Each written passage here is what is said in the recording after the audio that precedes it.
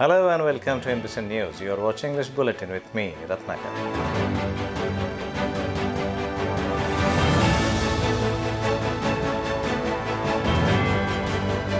The news in detail. Following the prolonged voting process that lasted for the entire Thursday night, Congress candidate advocate Abhijit Vanjari registered an emphatic win in the Nagpur graduate constituency elections. Vanjari, the MVA candidate, has secured a total 61,701 votes to beat his close rival from Bharatiya Janata Party, Sandeep Joshi, who got 42,991 votes. After registering the win by 18,710 votes, Vanjari along with his family visited Ganesh Tekri Mandir to take blessings from their deity on Friday morning. The counting for Nagpur graduates constituency polls commenced at 8 am on Thursday, December 3. Polling for the MLC elections was held on Thursday, December 1st. The counting was done by a team under the leadership of Dr. Sanjay Kumar, Divisional Commissioner and Election Officer. The counting had been held at Mankapur Sports Complex. The voting percentage of Nagpur Division Graduates Constituency election was 64.38.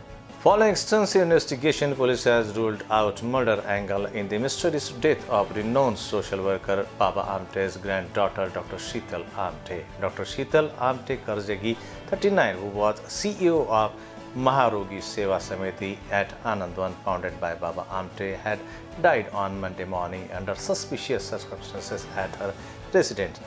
It is widely speculated that Dr. Sheetal had committed suicide by injecting herself with lethal dose of some medicines. The investigators are, however, not ready to reveal the details of the post-mortem report considering the high-profile nature of the case. Police continue to look for a possible suicide note in Dr. Sheetal's death case even as experts in Nagpur failed to crack password of her laptop, mobile tab and cell phones.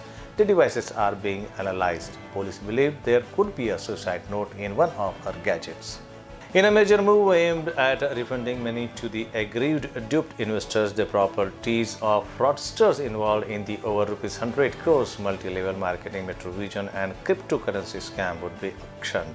The Deputy Commissioner of Police of Zone 1, DCP Nurul Hassan, has prepared a proposal to that effect and the same will be put up before the district collector soon, according to a media report.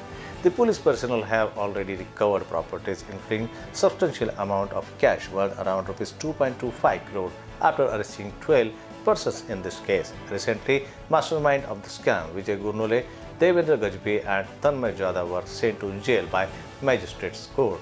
Two more accused persons, Sunil alias Sonu Shrikhande and his girlfriend Shweta Dongre, are still in the custody of police. They would be produced before the court on December 7.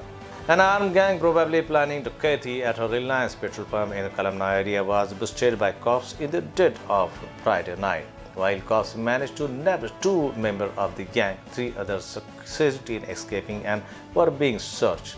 Kalamna Police Constable Rameshwar Kole received secret information that a gang of 5 to 6 persons had assembled at a dark spot in front of Reliance petrol pump on Old Kamptee Road around 1.30 hours of Friday. Acting swiftly, Kole and his team rushed to the spot and surrounded the gang, which also included a juvenile boy aged about 16 years.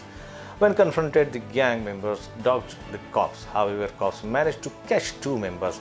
The detained accused have been identified as Praful Gulabrao Gohate, resident of plot number 552, Bharatnagar Gokul Dairy, and Dhananjay Laluram Markhande. Following the emphatic win in the Nagpur Division Graduate Constituency election for the Legislative Council, Congress candidate advocate Abhijit Vanjari along with his family visited Ganesh Tekri Mandir to take blessings from Ganesh deity on Friday.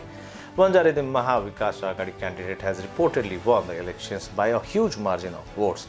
Vanjari has secured 55,947 votes, while his nearest rival, Sandeep Joshi of Bharatiya Janata Party, got much lesser.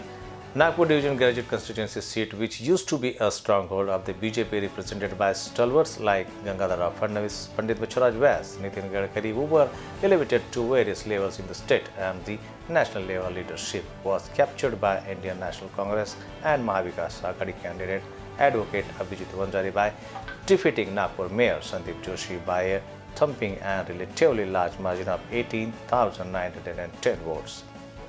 Big things come in small packages. This holds true in the case of the ultralight plane designed and flown successfully by Nagpurians. This plane surprisingly weigh only 1 gram. According to a media report, Rajesh Joshi, an expert aeromodeling instructor from Nagpur, has claimed to have created the ultralight indoor plane. It is perhaps the smallest aircraft in India, Joshi claimed.